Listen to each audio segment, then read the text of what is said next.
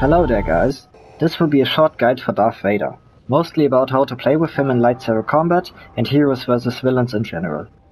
First of all you should know Vader is extremely powerful right now, and I think he's in need of a big nerf. He has 950 HP and with the bonus from his focused rage ability he has 1150 HP, which is more than for instance Boba's health doubled. This way he wins most hit spamming duels, so that's definitely something you could try.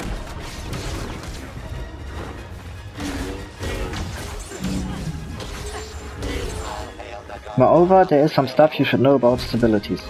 If you wanna choke somebody, you shouldn't spam the trigger, because the second time you press the button it will stop the ability. Vader is also immune to freezes while he's choking someone. This can be very helpful in certain situations. And of course you should keep in mind, you can use the choke to throw people off the map too. So now let's talk about his lightsaber throw. Vader's lightsaber throw does make damage on its way back, even if your enemy is blocking.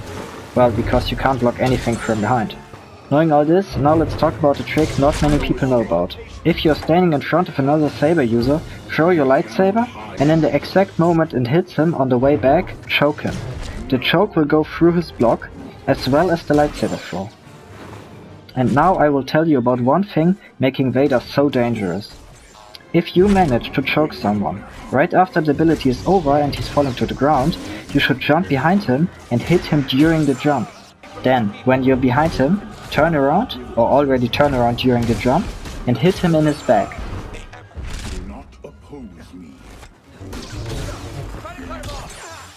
But if you have good reflexes, you can escape the hits after Vader's jump hit. That's why when you have it available, you should throw your lightsaber after the jump hit. The cooldown is way shorter and it has more range of course. Anyway, these ability combinations are very powerful and can be used in a lot of situations. For example, if some dudes are spamming hits on you, just dash to the side and do this. It will deal a lot of damage and they will back off.